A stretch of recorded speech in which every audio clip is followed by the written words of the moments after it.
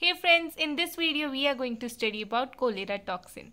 This is a part in continuation with the GPCR signaling. यहाँ पे हम देखेंगे कि किस तरह से जो विब्रियो कोलेरा है Vibrio cholera is a kind of bacteria तो विब्रो कोलेरा एक बैक्टीरिया है जो कि टॉक्सिन प्रोड्यूस करता है जिसको हम कोलेरा टॉक्सिन बोलते हैं ये जो टॉक्सिन है ये एक तरह का एंटेरोटॉक्सिन है अब एंटेरोटॉक्सिन का क्या मतलब होता है? एंटेरोटॉक्सिन्स वो टॉक्सिन्स होते हैं जो कि बैक्टीरिया प्रोड्यूस करते हैं in response to the system जैसे ही वो किसी लिविंग सिस्टम के अंदर जाते हैं, इनके पास कोई भी टॉक्सिन यूजुअली इनकी मेम्ब्रेन पे या इनके पास प्रेजेंट नहीं होता, बस सिस्टम के अंदर जाने के बाद जो ये टॉक्सिन प्रोड्यूस करते हैं, उसको हम कहते हैं enterotoxin so Vibrio cholera actually produce the cholera toxin which is a kind of enterotoxin that infects the intestinal epithelial cells हमारे जो इंटेस्टाइनल एपिथीलियल सेल्स होते हैं, उसको इन्फेक्ट करने का काम करता है cholera toxin which is secreted by Vibrio cholera अब ये विब्रियो कोलेरा जो है ह्यूमन के इंटेस्टाइन तक कैसे पहुँचता है? वी नो कि जो जब हम कभी भी किसी कंटेमिनेटेड फ़ूड या कंटेमिनेटेड वाटर को ड्रिंक करते हैं तो उसके थ्रू जो है ये जो बैक्टीरिया है हमारी बॉडी के अंदर एंटर करता है और वी नो कि ये हमारा डाइजेस्टिव सिस्टम में जैसे ही विब्रियो को ले रहा ये एंटर करेगा, ये जो है टॉक्सिन प्रोड्यूस करना शुरू कर देगा। और ये जैसे ही स्टमक के नीचे आके ड्यूडोडनम से पास होते हुए लार्ज इंटेस्टाइन तक पहुंचेगा So after reaching in the large intestine, it actually starts producing toxin which is called as enterotoxin or cholera toxin. तो जो कोलेरा टॉक्सिन है, ये एक्चुअली क्या करता है? ये इन्फेक्ट करता है मेम्ब्रेन को। ये जो इंटेस्टाइन की मेम्ब्रेन्स होती हैं, उनको इन्फेक्ट करता है। इन्फेक्ट किस तरीके से करता है कि जो अपर मोस्ट लेयर होती है, वो बनी होती है एपिथीलियल सेल्स की। ये जो लेयर्स बनी होती हैं, ये एपिथीलियल सेल्स की लेयर बनी होती हैं। तो इन एपिथीलियल सेल्स के अंदर जाके ये उनको इन्फेक्ट करने का काम करता है, जिसके कारण से बहुत ज़्यादा फेटल जो है डिज़ीज़ हो जाती है। तो यहाँ पे जो है कोलेरा टॉक्सिन जो है, वो प्रोड्यूस होता है inside the epithelial cells of the intestine so इस तरह से ये टॉक्सिक ये जो टॉक्सिन है, ये इन्फेक्ट करता है। अब हम इसकी जो है एक फुल स्टडी करेंगे कि किस तरीके से सिग्नलिंग जनरेट होती है और किस तरीके से इन्फेक्शन होती है। तो यहाँ पे हम देखते हैं ये जो सिंगल मेम्ब्रेन है, हम इसको स्टडी करेंगे। तो इस मेम्ब्रेन को यहाँ की, यानी कि इसके एक अपर एपिथेलियल सेल्स को हम स्टडी करते हैं। तो मान लीजिए ये एक इंटेस्टाइनल एपिथेलियल सेल है। This diagram represents the intestinal epithelial cell this is the whole intestinal epithelial cell तो यहाँ पे हम देखते हैं कि इंटेस्टाइनल एपिथेलियल सेल में ये जो पोर्शन होता है, इसको हम ल्यूमन कहते हैं, जहाँ से फ़ूड जो है प्रोसेस्ड फ़ूड जो है, वो पास होता है। तो यहाँ से जो है फ़ूड जो है, वो पास हो रहा है और पास के साथ साथ ये जो ल्यूमन है, यहाँ पे फ़ूड पास हो रहा है और ये जो लाइनिंग है, ये उस फ़ूड में से विलाई के थ्रू जो है न्यूट्रिशन ले रही है। तो यहाँ पे वही हम डायग्राम देखते हैं कि अगर ये हमारे पास एक एपिथेलियल सेल है तो इस एपिथेलियल के पास कुछ विलाइज प्रेजेंट होती हैं। और ये विलाई क्या करेंगी? ये विलाई जो है वो फ़ूड में से न्यूट्रिशन सक करेंगी। यानी कि फ़ूड का न्यूट्रिशन इस जो है वो लेता कौन है? विलाई लेता है। और ये जो विलाय है, फिर एपिथेलियल सेल्स के थ्रू जो है वो ब्लड तक पहुँच जाता है और इस तरीके से सर्कुलेशन होती है। तो इस तरीके से जो है फ़ूड जो है वो ह्यूमंस को मिलता है। अब यहाँ पे हम देखते हैं कि कोलेरा जो है, अभी हमने कंटेमिनेटेड वाटर लिया है तो कंटेमिनेटेड वाटर में विब्रियो कोलेरा प्रेजेंट है। अगर विब्रियो कोलेरा प्रेजेंट है तो वो प्रोड्यूस करेगा कोलेरा टॉक्सिन अब ये जो कोलेरा टॉक्सिन है, ये फ़ूड के अंदर आ गया है, यानी कि ल्यूमन के अंदर प्रेजेंट है लार्ज इंटेस्टाइन के। तो ये एपिथेलियल सेल्स पे क्या होगा? इसका इफ़ेक्ट होगा। अब ये अफेक्ट किस तरह से होगा? हम देखते हैं कि हमारे पास एक मॉलिक्यूल प्रेजेंट होता है on the membrane of the epithelial cell ये हमारे पास इंटेस्टाइनल एपिथेलियल सेल है और ये इसकी मेम्ब्रेन है। तो मेम्ब्रेन पे एक मॉलिक्यूल प्रेजेंट होता है और इस मॉलिक्यूल को हम कहते हैं गैंग्लियोसाइड तो ये गैंग्लियोसाइड हमारे पास एक मॉलिक्यूल है present on the intestinal epithelial cell now we have another molecule जो कि हमारे पास एंटेरोटॉक्सिन है। अब हमारे पास फ़ूड में क्या है? कोलेरा टॉक्सिन या जिसको हम एंटेरोटॉक्सिन कहते हैं, वो प्रेजेंट है। अब ये कोलेरा टॉक्सिन या एंटेरोटॉक्सिन किस नेचर का होता है या किस तरह का होता है, वो हम देखते हैं। तो ये जो ब्लैक रेड से कलर में जो हमारे पास ये एंटेरोटॉक्सिन गैंग्लियोसाइड है ब्लैक से कलर में इस गैंग्लियोसाइड के साथ हम ऊपर ये रेड कलर की पाँच यूनिट्स दे सकते हैं जो अटैच है और एक ही नीचे ब्लू कलर की यूनिट देख सकते हैं। तो जो रेड कलर की फाइव बाइंडिंग सब यूनिट्स हैं और ये जो है ब्लू कलर की कैटालिटिक सब यूनिट है, ये जो है एक एंटेरोटॉक्सिन है।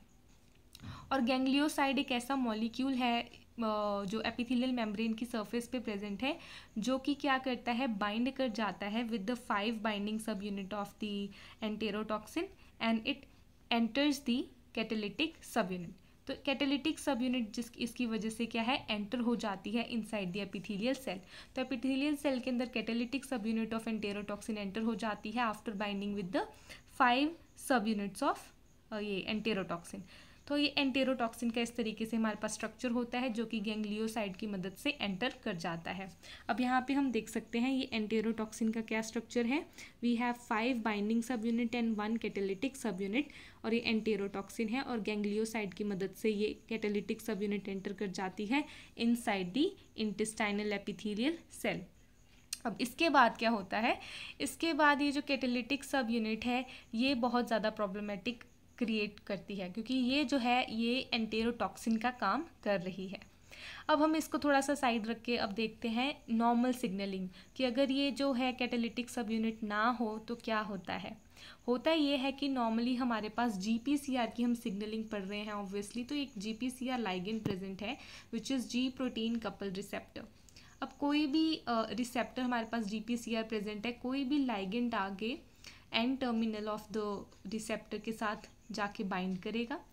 तो जैसे ही बाइंड करेगा, हमें पता है कि there are three subunits of G P C R which is alpha beta and gamma तो यहाँ पे जो अल्फ़ा सब यूनिट है, उसके साथ जी डी पी अटैच होती है। पर जैसे ही लाइगेंड अटैच करता है जी पी सी आर के साथ तो जी डी पी रिमूव हो जाती है और जी टी पी अटैच हो जाती है with the alpha subunit of G protein और ये सब होता है with the help of GEF activity which is guanine nucleotide exchange factor इसका काम है जीडीपी को रिमूव करके जीटीपी अटैच करना। अब अल्फ़ा सब यूनिट के साथ जैसे ही जीटीपी अटैच होगी, वैसे ही बीटा गामा डाइमर जो है वो अलग हो जाएँगे और अल्फ़ा जो है वो अलग हो जाएगा। तो अल्फ़ा सब यूनिट जो है वो एक्टिव हो जाएगी और एक्टिव अल्फ़ा सब यूनिट क्या करती है? किसी इफेक्टर मॉलिक्यूल के साथ जाके अटैच करती है। ये सब मैं आपको पिछली जी की बेसिक मैकेनिज्म वीडियो में भी बता चुकी हूँ। उसमें सारा क्लियर बता रखा है कि किस तरह से जीपीसीआर काम करता है।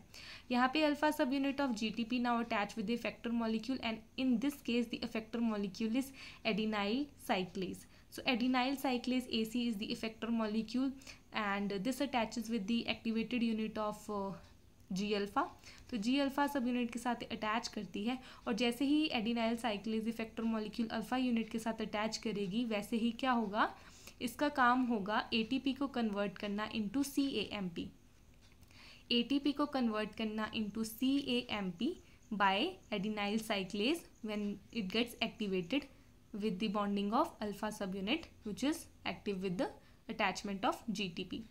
तो इसके साथ अटैच होके A T P A M P में कन्वर्ट हो जाता है ए पी हमारे पास है cyclic adenosine monophosphate which is the secondary messenger secondary messenger is produce in response to the primary messenger which is ligand itself तो यहाँ पे सी ए एम पी बन गया। अब सी ए एम पी का काम क्या होता है? सी ए एम पी का काम होता है to activate P K A P K ए क्या है? पी के एक एंजाइम है, जिसको हम कहते हैं protein kinase A C A M P कैसा सेकेंड मैसेंजर है, जो कि एक प्रोटीन को एक्टिव करता है? और पी के ए जो है, एक ऐसा एंजाइम है जिसका काम है बाकी चीज़ों को फॉस्फोराइलेट करना, उनको एक्टिव करना। फिर जो काइनेज होता है, हमें पता है कि काइनेज की एक्टिविटी है to phosphorylate the other proteins and other enzymes तो पी के ए का काम एक्टिवेशन करना होता है किसी भी प्रोटीन मॉलिक्यूल की। तो यहाँ पे सी ए एम पी का काम हो गया और पी के ए का काम हो गया। ये हमारे पास एक नॉर्मल साइकिलिंग चलती है। जिस तरह से हमारे पास एक नॉर्मल साइकिलिंग चलती है। लेकिन एंटेरोटॉक्सिन ने जो है अटैक कर दिया है। विब्रो कोलेरा ने अटैक कर दिया है। अब ये विब्रियो कोलेरा एक एंटेरोटॉक्सिन बना चुका है और ये enterotoxin with the help of ganglioside enter कर चुका है बॉडी के अंदर। और जैसे ही एपिथीलियल सेल के अंदर एंटर कर चुका है तो इसकी कैटेलिटिक सब यूनिट एक्चुअल में एंटर हुई है। अब ये कैटेलिटिक सब यूनिट क्या करेगी? ये कैटेलिटिक सब यूनिट जो है, ये क्या करेगी? ये एक ऐसा मॉलिक्यूल हमारे पास यहाँ पे पिंक कलर में आप एक मॉलिक्यूल देख सकते हैं। इस मॉलिक्यूल को एडिनाइल साइक्लेज के साथ जाके अटैच करवा देगी।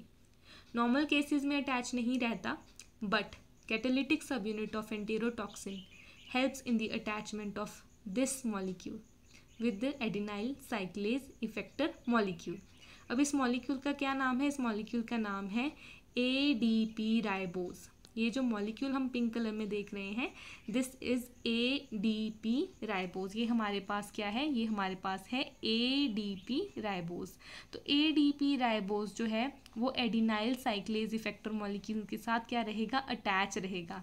अब ये जो कैटेलिटिक सब यूनिट है, ये एक टॉक्सिक सब यूनिट है.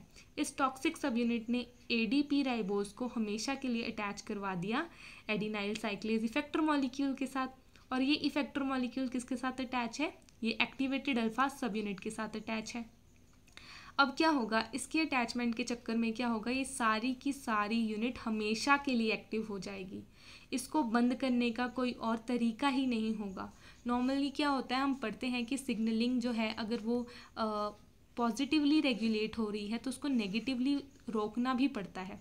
तो रोकने के लिए हमारे पास हमें पता है कि गैप एक्टिविटी होती है which is G T P is activating protein जिसका काम होता है जी टी पी की हाइड्रोलिसिस करा देना, ताकि वो जी टी पी जो है अगेन जी डी पी में कन्वर्ट हो जाए। लेकिन इसकी अगेन जी डी पी में कन्वर्शन नहीं होने देता, ये ए डी पी राइबोस जो कि किसके कारण इनके साथ जाके अटैच हुआ है? कैटेलिटिक सब यूनिट के कारण। तो इसके चक्कर में क्या होगा? ये सारी की सारी साइकिलिंग ऑन रहेगी। अगर ये सारी की सारी सिग्नलिंग ऑन रहेगी तो पी के ए जो है वो बनता रहेगा और हमेशा के लिए क्या रहेगा? हमेशा के लिए एक्टिव बना रहेगा। और अगर हमेशा के लिए ये एक्टिव बना रहेगा तो ये जो है बहुत ही ऐसे काम करेगा जिसके कारण जो है हमारी इंटेस्टाइनल एपिथीलियल सेल्स पे बहुत ज़्यादा फ़र्क पड़ेगा। और ऊपर से हमारी जो हेल्थ है, उसमें इन उसमें बहुत ज़्यादा फ़र्क पड़ेगा बॉडी से बहुत सारे आयन्स लॉस होंगे और ये इतना फैटल हो सकता है कि डेथ भी कॉज कर सकता है। तो यहाँ पे हम देखते हैं कि अगर ये पी के हमेशा के लिए एक्टिव रहता है तो ये क्या क्या काम कर सकता है। पहली बात तो ये है कि अगर पी के हमेशा के लिए एक्टिव रहेगा तो ये एक सोडियम हाइड्रोजन चैनल को ख़त्म कर देगा, रोक देगा। यूजुअली क्या होता है कि हमारे एपिथीलियल सेल्स जो होते हैं, इंटेस्टाइनल एपिथीलियल सेल्स के पास पास एक एंटीपोटर होता है, जो कि सोडियम इनटेक करता है और हाइड्रोजन आयंस को बाहर निकालता है। ये नॉर्मल फ़ंक्शन कर रहा होता है। पर जैसे ही पीके हमेशा के लिए एक्टिव हो जाएगा तो हमने बताया कि काइनेज एक्टिविटी शो करता है, जिसके कारण ये इसको फॉस्फोराइलेट कर देगा। और जैसे ही पी के ए इस एंटीपोटर को सोडियम हाइड्रोजन एंटीपोटर को फॉस्फोराइलेट कर देगा वैसे ही इसकी जो फंक्शनिंग है वो बंद हो जाएगी। मतलब इसकी फंक्शनिंग नहीं होगी ये सारा का सारा रुक जाएगा कोई भी आयन एक्सचेंज नहीं हो पाएगा। राइट right, एक ये काम कर दिया इसने। दूसरा पी के ए क्या करेगा? दूसरा करेगा कि वो एक हमारे पास क्लोराइन क्लोराइड चैनल होता है यहाँ पे जिसको हम सी एफ़ टी आर बोलते हैं। सी एफ़ टी आर का यहाँ पे मतलब है cystic fibrosis transmembrane conductance regulator. So CFTR is cystic fibrosis are is cystic fibrosis transmembrane conductance regulator. तो ये कंडक्टेंस रेगुलेटर क्या है? एक हमारे पास क्लोराइड चैनल है। ये एक रेगुलेटर है जो कि आयंस को रेगुलेट करने का काम करता है। लेकिन पी के ए क्या करेगा? इसको भी फॉस्फोराइलेट कर देगा, इसको भी एक्टिवेट कर देगा, जिसके कारण से इस सेल के अंदर, इस इंटेस्टाइनल एपिथीलियल सेल्स के अंदर जितने भी क्लोराइड आयंस थे, वो सारे के सारे इससे निकल के ल्यूमन की ओर चले जाएँगे, फ़ूड में मिक्स हो जाएँगे। जितना भी वेस्ट जो था वो फ़ूड का ल्यूमन में प्रेजेंट था और क्योंकि ये सी एफ़ टी आर भी क्या हो गया? इनहिबिट हो गया। ये भी बंद हो गया। फॉस्फोराइलेट हो गया बाई पी के ए तो सारा का सारा क्लोरीन जो है वो बाहर चला जाएगा सेल के और सारे के सारे मतलब जो एक आयन है हमारी बॉडी के अंदर वो सारे के सारे लॉस होके ल्यूमन की तरफ़ चले जाएँगे। और अगर ल्यूमन की तरफ़ क्लोरीन आयन चले जाएँगे तो जो पानी है यहाँ पे अंदर बचा होगा, वो ऑस्मोलैरिटी मेंटेन करने के लिए वो भी साथ में बाहर चला जाएगा। तो ऑस्मोसिस को मेंटेन करने के लिए क्लोराइन आयन के साथ साथ पानी भी बाहर चला जाएगा। तो बॉडी के अंदर वाटर लॉस हो रहा है बॉडी के अंदर आयन लॉस हो रहे हैं। तो इससे क्या होगा?